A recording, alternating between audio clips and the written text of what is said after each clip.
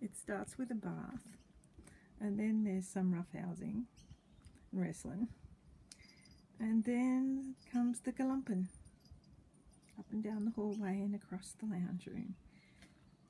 And I've got very itchy feet standing on this floor. Morgellons is a curse, but they're worth it. I love you boys. You're too cute, Levi. So are you, Toby James. Prettiest boy I ever did see.